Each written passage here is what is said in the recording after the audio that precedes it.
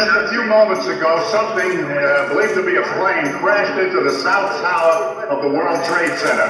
I just saw flames inside. You can see the smoke. confirmó hoy que el ejército boliviano está firmemente convencido de que tiene acorralado al revolucionario argentino cubano Ernesto Che Guevara en un cañón de Juicios, muertes, presos, corrupción hasta en la sopa. The United States has conducted an operation that killed Robos, juicios, muertes, presos, corrupción hasta en la sopa. Narcos, mota, hambre, falopa, indultos en los congresos. La barbarie de sucesos, la noticia oficialista, el ardid imperialista, una foto al detalle de los sesos en la calle, es el morbo amarillista.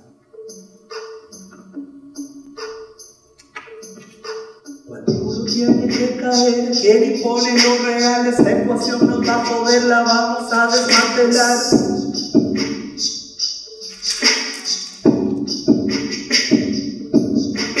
Corrupción y desempleo, hambre, peste, deuda externa. El mercado es quien gobierna, somos parte del sorteo. Se está esto poniendo feo, pronto el caos se desata. Ya no alcanza ni la plata y el poder hace orgía. Cambalache y economía, cuello blanco y corbata.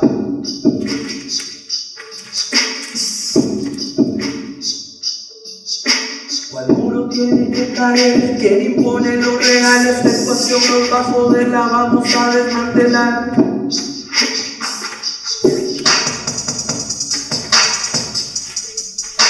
¿Cuál tiene que caer? ¿Quién impone los reales? La ecuación los bajo de la vamos a desmantelar. Artificios de aparente urgencia, hacer de lo inmediato, dietas, chips de bomba y moto, red social no efervescente. El furor de lo urgente, la amnistía del engaño, habilidades del lenguaje, crisis, peso, no montaje, el pastor y su rebaño.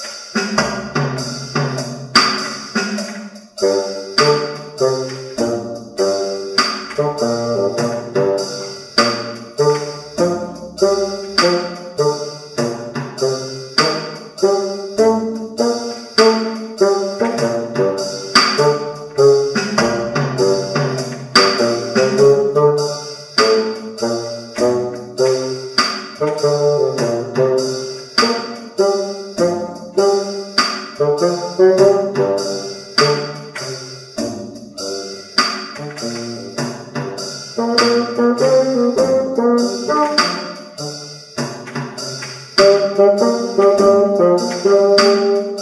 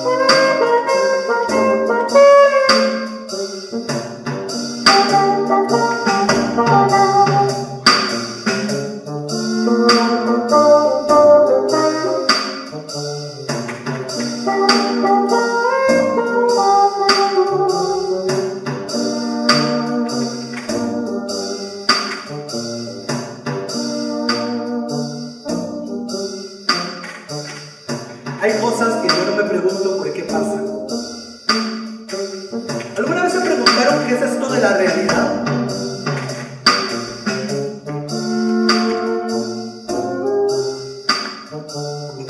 Los objetos cotidianos, ¿sí? Una cuerda y un árbol.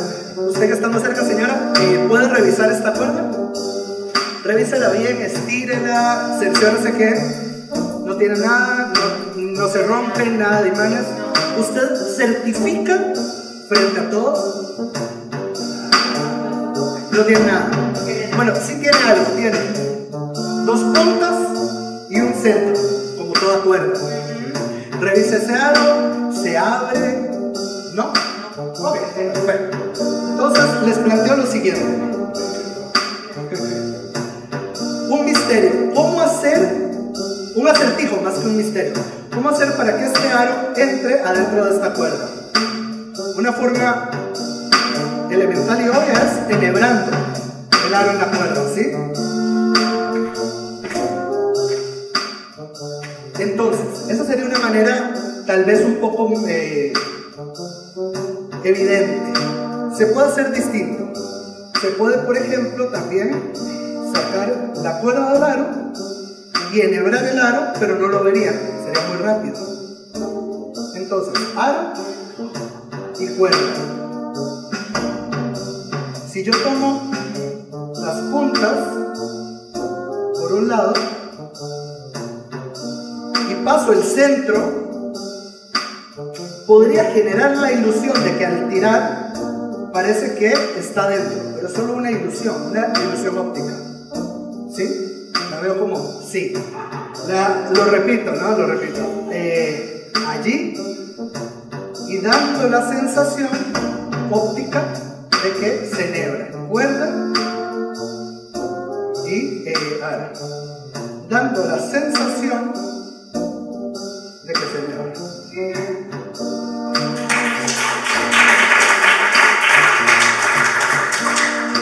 Se podría también eh, hacer distinto, sacar el aro de la cuerda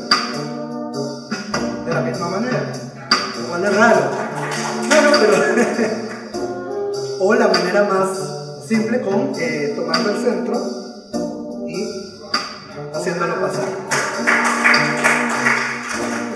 Lo que es raro y lo que sí sería extraño es eh, con las puntas en el bolsillo.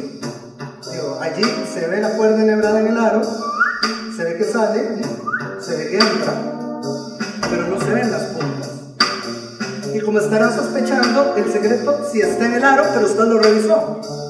¿Cierto? Da fe de eso. De igual manera, se lo dejo para que lo, lo tenga por ahí un rato. Porque el secreto, le dije, no está en el aro. Y le dije que revisara la cuerda. Que si tenía algo. Y usted revisó que efectivamente una cuerda tenía dos puntas y un centro. ¿Cierto? Como toda cuerda. Una cuerda tiene dos puntas y un centro. Lo raro sería si una cuerda tuviera tres puntas. Eso sería raro. O cuatro. No tengo ni idea. Porque en realidad cuatro puntas no es una cuerda, sino dos. Habría que tomarlas, colocarlas en su lugar. Entonces tenemos una cuerda por acá y una cuerda por acá. O se puede soltar y se vuelve a tener una sola cuerda. No entiendo.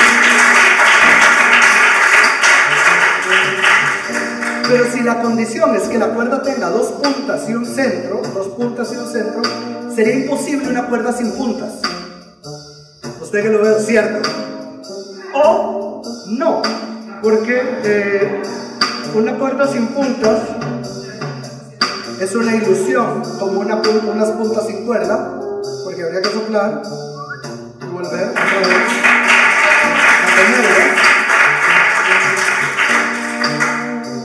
entonces, si la condición es que una cuerda tiene que tener puntas y centro, ¿qué pasa si tomamos las puntas, las llevamos al bolsillo, las tiramos en el aire, hay una acá, la segunda y el centro?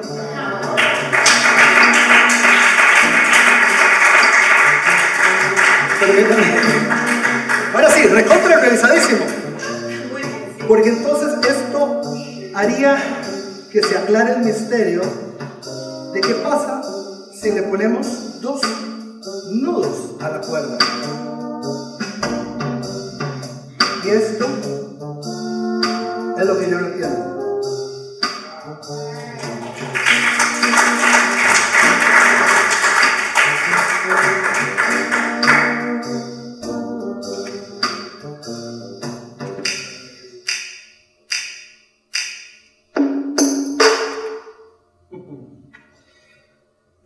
Permítame un segundo porque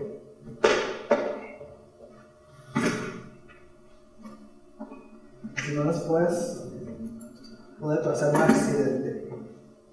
Eh,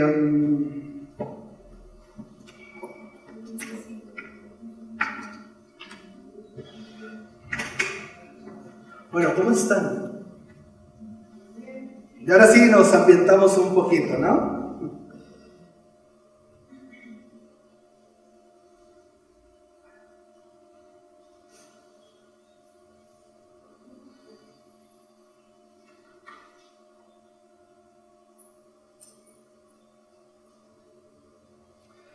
Les cuento, les quiero contar un poquito de qué se trata este show, este evento, y para que vayan conociendo o se vayan familiarizando con los elementos presentes, esto es un pedal de loop, se llama así un pedal de loop, eh, que lo que hace es generar una secuencia que se va repitiendo una y otra y otra vez. Y esto es un favor. Eh, y cuando digo una secuencia que se va repitiendo una y otra y otra vez, permítanme acá ejemplificarlo con algo. No sé si conocen el mito de Sísifo. ¿Lo han escuchado? Sísifo es este personaje que fue condenado a cumplir una tarea todos los días, una y otra y otra vez.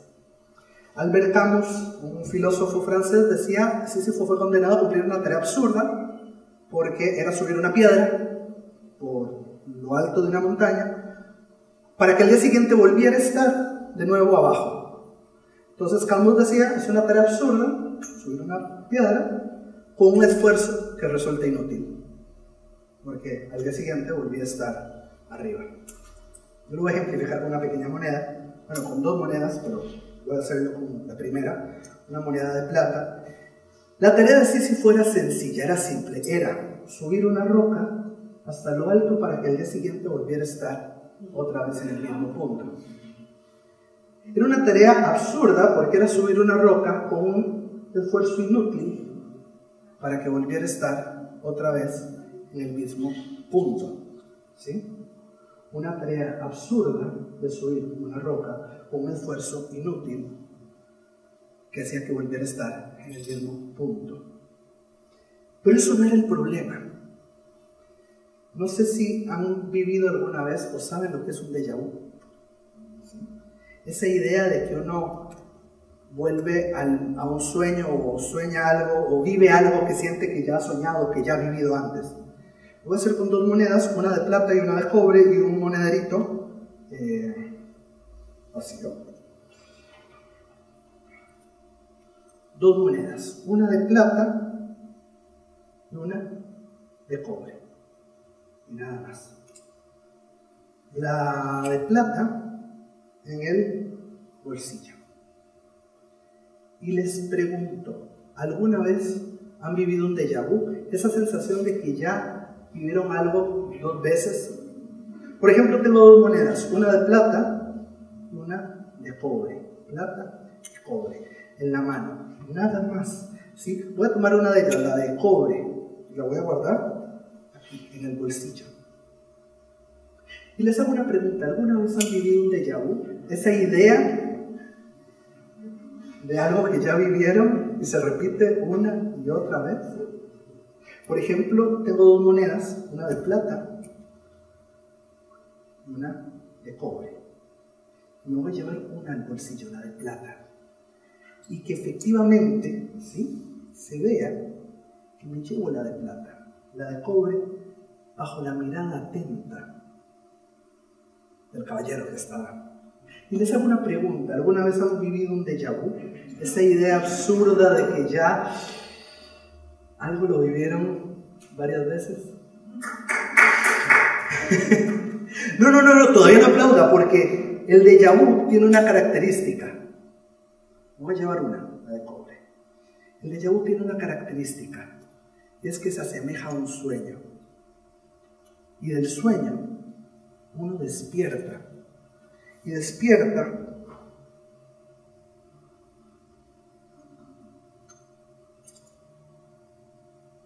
con una moneda de plata y una moneda de cobre.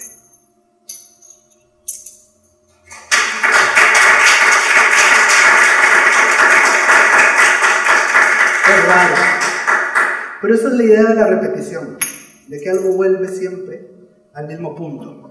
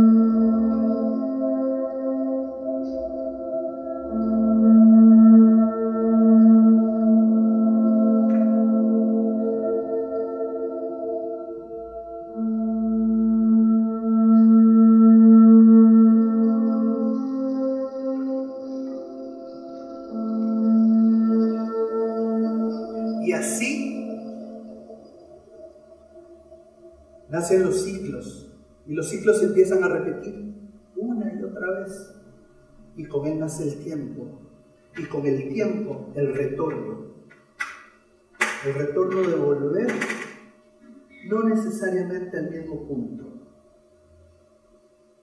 Del vacío, el agua. Del agua, el tiempo.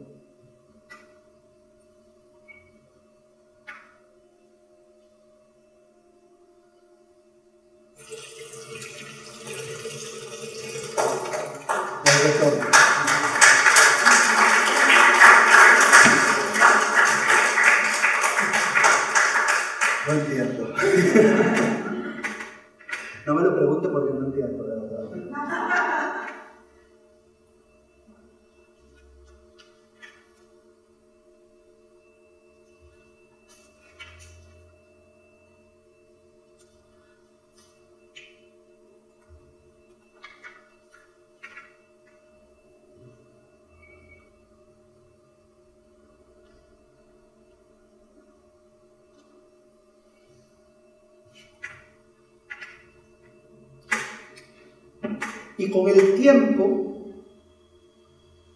nace el día y con el día viene la noche. Y con la noche nacen las historias, las leyendas, los cuentos, la fantasía.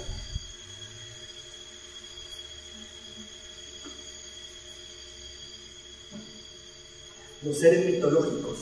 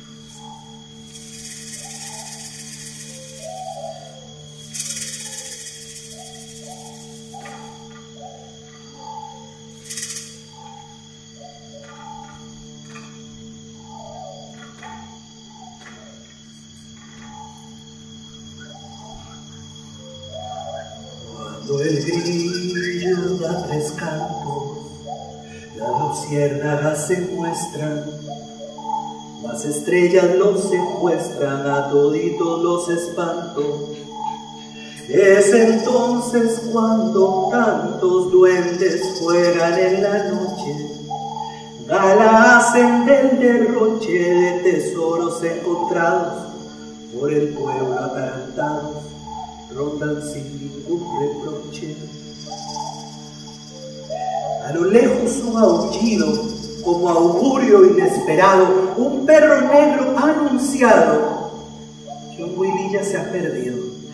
Nadie más escuchó el ruido de la música festiva que con astucia efectiva al monte fue atraído. Y un duende mal vestido salió a dar la bienvenida.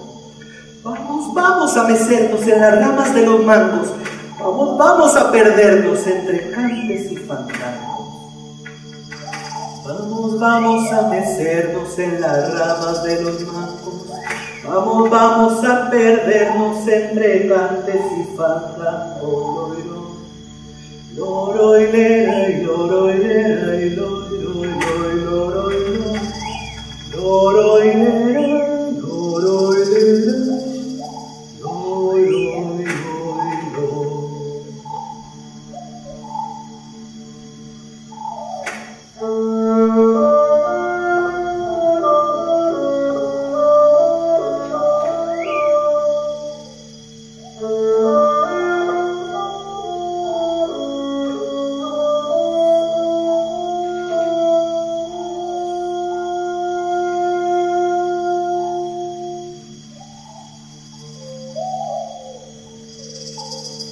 Frente a toda esa gente, cubierto y con baratijas, descalzo y con dos cobijas regresó el niño ferviente, luego de un día ausente, el monte lo ha devuelto. Con paso firme y esbelto, rebosa lleno de vida. Esta historia no se olvida, ni el tiempo la ha disuelto.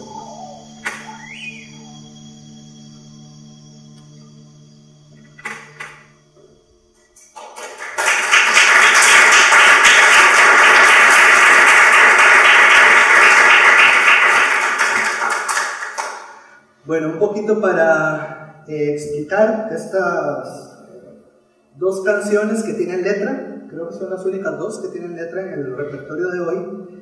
Esta última se llama Décimas y Duendes. La décima, ambas están escritas en décima, décima espinela.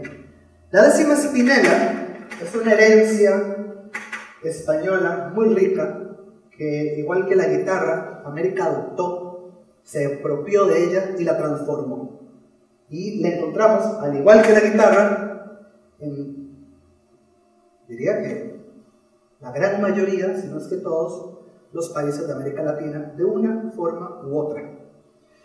Eh, la décima es una estructura de rima en verso que se conforma por 10 versos, por eso se llama décima, de 8 sílabas cada verso, es decir, 10 versos octosílabos y tienen una estructura de rima, te hago así, no es por ser metalero, es para recordar.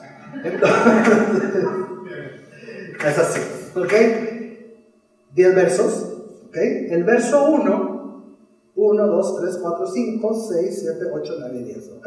El verso 1 rima con el cuarto y con el quinto. El verso 2 rima con el 3. Luego cambia de verso el verso 6, el verso 7 y el verso 9 eh, perdón, verso 6, verso 7 y verso 10. Y luego el 8 y el 9 riman entre ellos. Por eso así. Mnemotecnia, la mejor mnemotecnia. Eh, entonces, voy a hacer el ejemplo. Cuando el grillo da tres cantos, cantos, cantos, ¿sí? las luciérnagas se muestran, estran.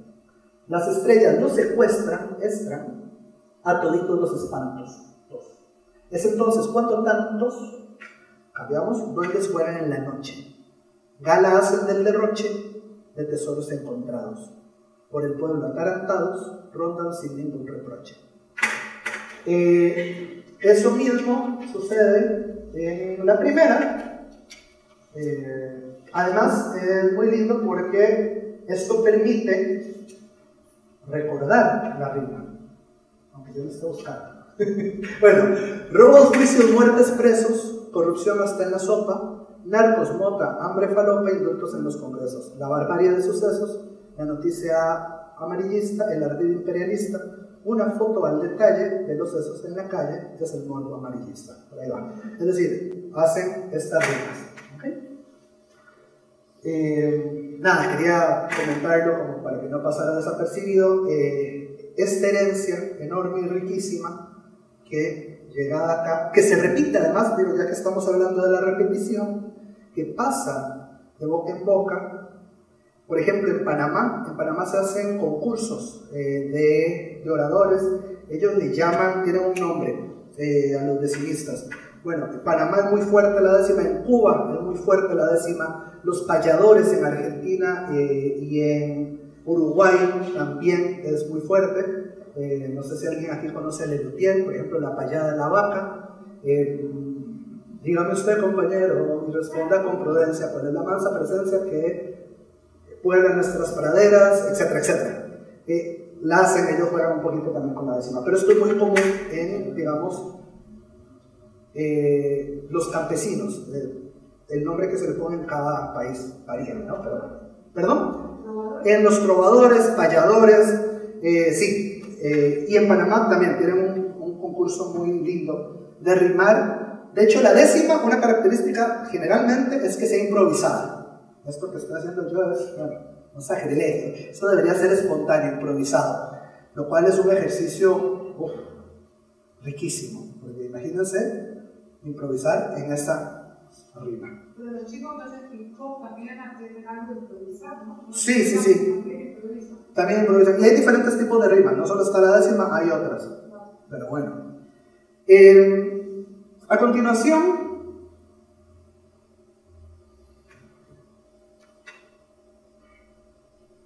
les dije al principio que para mí venir aquí ha sido muy lindo la invitación. Es una invitación que considero muy importante porque hay un vínculo con el fagot y con toda la parte de catalana. Eh, bueno, primero, personalmente siempre he tenido una inclinación por la música eh, de Joan Manuel Serrat, por ejemplo. Pero también el fagot, que es el instrumento que toco hoy acá, mi maestra, mi profesora, es catalana. Y también el, el hecho de, de, estar tocando con la lupera se lo debo a la primera carrera, bueno, la segunda carrera que estudié, aparte de música, que es la musicoterapia.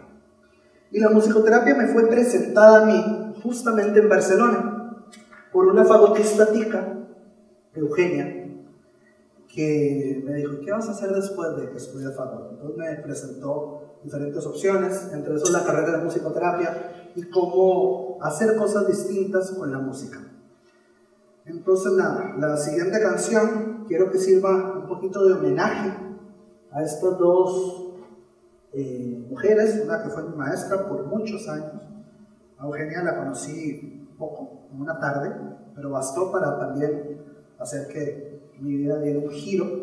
Y curiosamente, veniendo al concierto, me topo con unas cañas que ella me regaló, que por el tiempo las estuve probando, no quería tocar con ellas, pero creo que requieren más tiempo para haber ensayado, pero bueno, las traje también un poco en homenaje a eso, o sea, me las regaló con esta cajita tan linda, nunca había tenido una caja tan linda de cañas, y unas cañas de ella, ella no las hizo, creo que este, las mandaba a hacer. Y una canción, también en agradecimiento a la invitación que me hicieron, en agradecimiento al lugar, probablemente algunos de ustedes la conozcan, porque es una canción tradicional catalana, infantil, eh, que entiendo se canta en Navidades, que es Al cant dels ocells. Es que me concharon antes para pronunciarlo. El canto de los pájaros.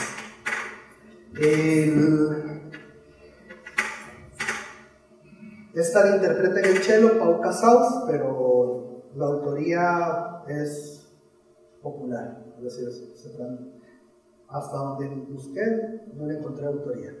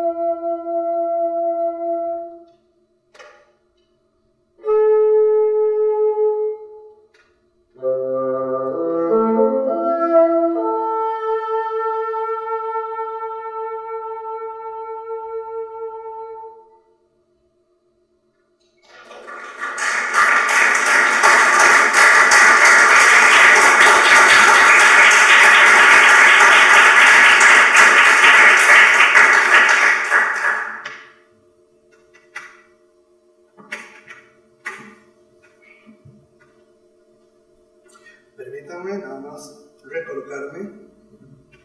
Todo el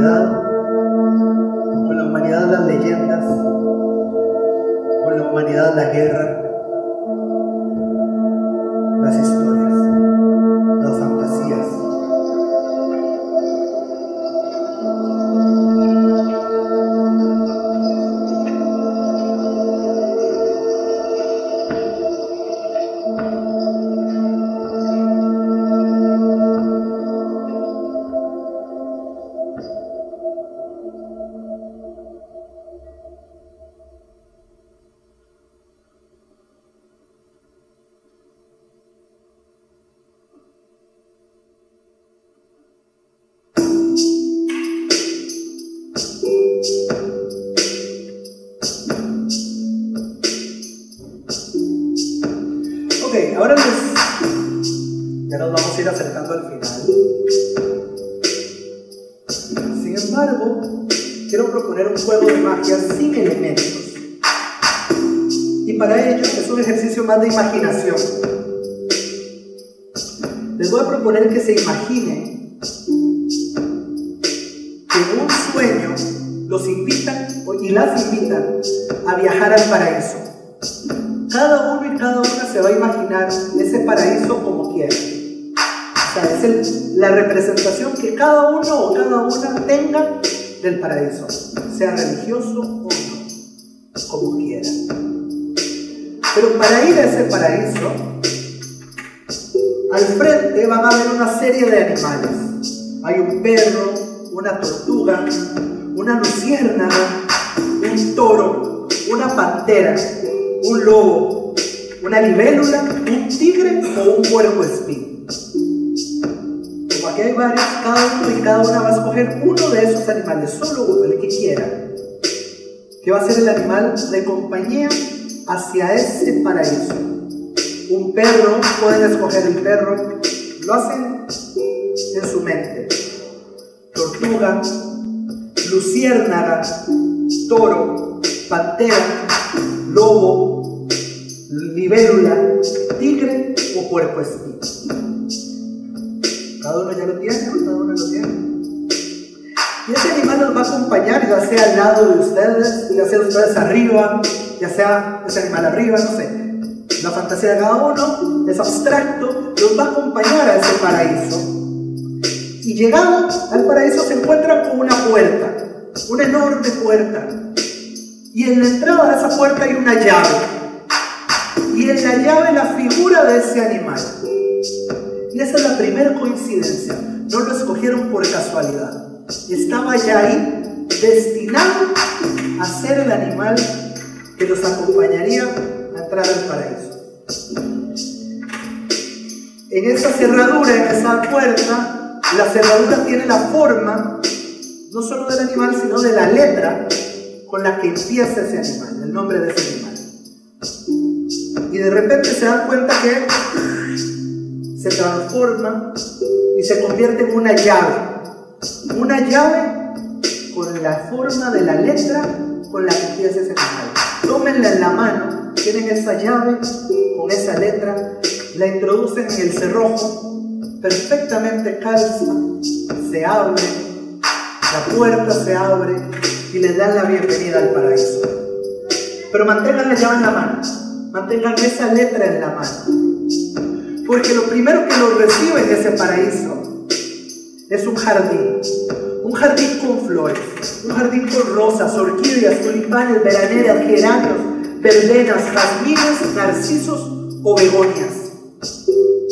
Y van a buscar en esas flores, en esas letras que conforman esas flores, la letra que ustedes tienen en la mano, ya sea al principio, al medio o al final de esas palabras. En ese jardín tienen rosas, orquídeas, tulipanes, veraneras, geranios, verbenas, jazmines, narcisos o begonias. ¿Encontraron la letra ahí perdida en medio de esas flores? Rosas, orquídeas, tulipanes, veraneras, geranios, verbenas, jazmines, narcisos o begonias. ¿La tienen? Tomen esa flor y la arrancan de este jardín.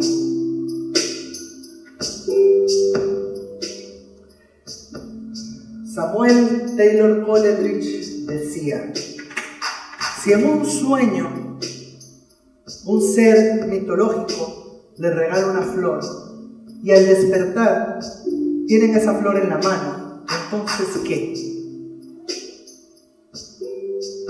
Eso se llama el sueño de Coleridge. Yo les pregunto, si en un sueño fantasiado, imaginado, se les invita a ir al paraíso, escogen un animal, ese animal se transforma en una letra, esas letras aparecen en una de esas flores, y si al regresar acá se encuentran con un tulipán, entonces ¿qué?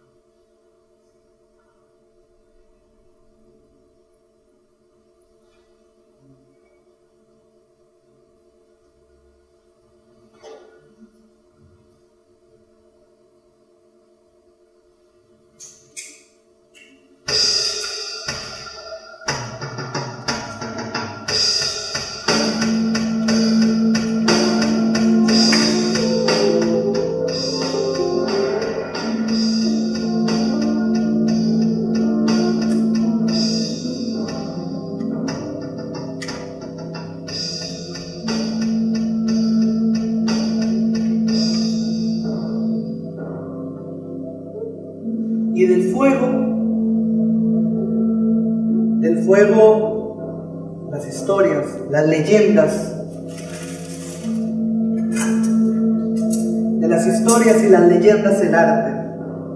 Y del fuego también, del fuego también nace la magia, de la noche, nace el metal con el que se forja, las armas que hacen la guerra, pero también las agujas que curan. Y también las cadenas que liberan. Y entonces así nace el tiempo, el tiempo empieza a girar, a transformarse.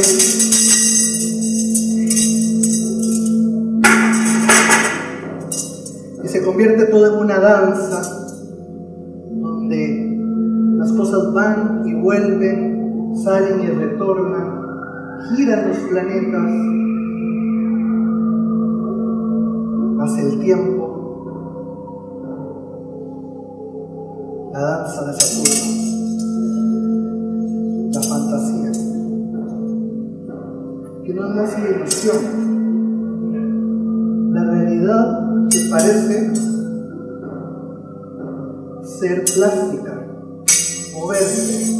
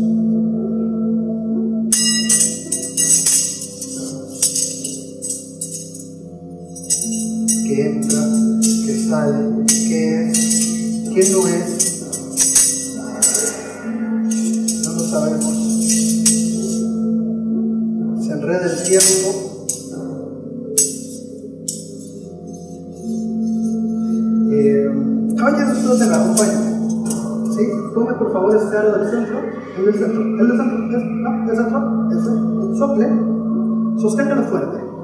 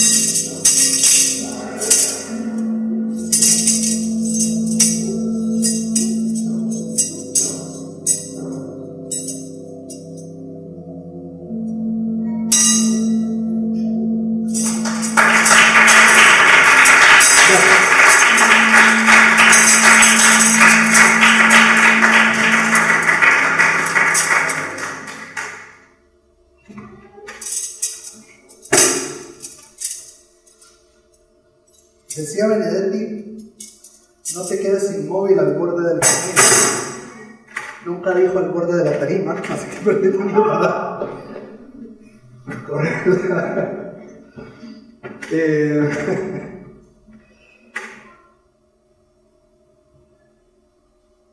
Realmente ha sido un gusto estar hoy acá, haber compartido un poquito de mi música, un poquito de estas invenciones raras, un poquito de esto llamado el eterno retorno, decía Nietzsche. Y Camus le da un giro muy lindo, muy hermoso. Él hablaba de esto que siempre retorna, ¿no? y, lo comparaba y creo que el- la semejanza más habitual es Imaginarnos que muchas veces repetimos las mismas cosas una y otra vez y no encontramos un sentido porque decimos, ¿por qué estamos volviendo todos los días a hacer lo mismo? Como si estuviéramos condenados como Sísifo a levantarnos, ir a trabajar, a acostarnos, para volvernos a levantar al día siguiente. Y Camus decía que a esto es lo que Camus le llama el absurdo, y la vuelta que a mí me gusta y que quiero compartir con ustedes es que frente a este absurdo, uno es el que construye el sentido. Frente a esa repetición de siempre, los- siempre lo mismo, podemos hacer que no siempre sea igual. Que cada vuelta encontrar y descubrir algo distinto. Así sea el mismo sonido que se repite una y otra vez, va cambiando. Como decía Borges, regresar al mismo río hace que no sea el mismo río, porque por un lado las aguas cambiaron, pero nosotros también. Entonces, aunque se repita, no es la misma repetición. ¿Por qué algo cambia? O cambiaron ustedes, o cambié yo, o cambiamos nosotros, o cambió el espacio. Pero no siempre es igual.